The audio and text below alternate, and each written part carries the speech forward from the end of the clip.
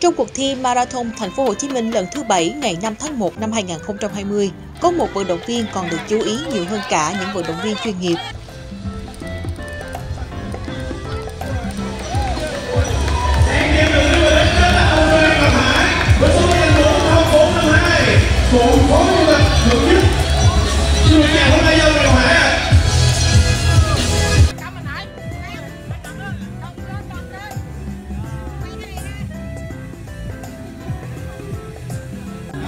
Không phải là chiếc áo sơ mi trắng ngắn tay và quần âu quen thuộc.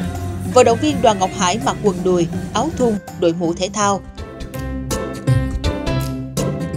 Không giống như những ngày còn làm cán bộ song sáo và quyết liệt dẹp nạn lấn chiếm vỉa hè, nguyên phó chủ tịch quận 1 Đoàn Ngọc Hải giờ chỉ tập trung hoàn thành đường chạy marathon 42 km và tập trung cười tươi khi có người đến xin chụp hình.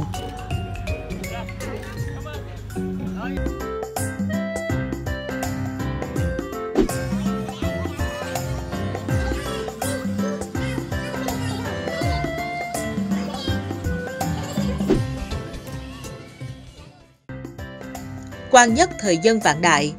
Ai làm cán bộ thì cũng từng làm dân. Làm cán bộ xong thì cũng lại về làm dân.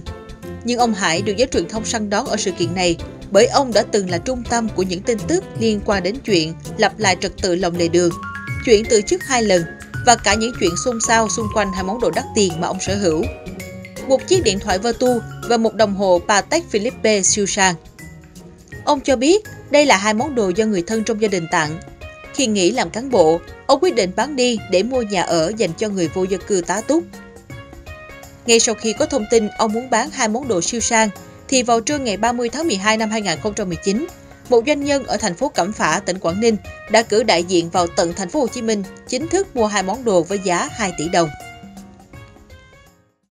Đang đang tìm mua từ 1 đến 2 căn nhà làm sao mà để cho người vô gia cư có cái chỗ ở mãi mãi trên cuộc đời này và những căn nhà đó là mãi mãi của họ.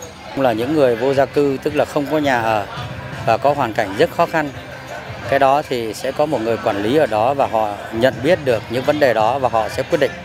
Quản lý câu chuyện đó thì theo anh có thấy khó không? Ờ, chắc chắn là rất khó. À. thế thì anh có cái cách nào để quản trị câu chuyện đó là mọi việc nó tốt hơn và đúng theo tâm nguyện của mình? Bản thân tôi sẽ phải bỏ tiền để thuê cái người quản lý đó để làm sao quản lý thật tốt vừa an toàn cho người vô gia cư và vừa đáp ứng được các yêu cầu của pháp luật cho phép. Khó nhưng mà vẫn phải làm và làm bằng được.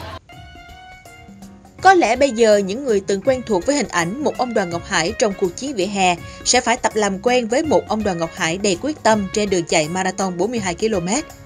Nhưng dẫu có là ông Phó Chủ tịch Đoàn Ngọc Hải hay vận động viên Đoàn Ngọc Hải, thì nhiều người vẫn đang dành sự quan tâm nhất định đến người đàn ông từng tốn rất nhiều giấy mực của truyền thông này.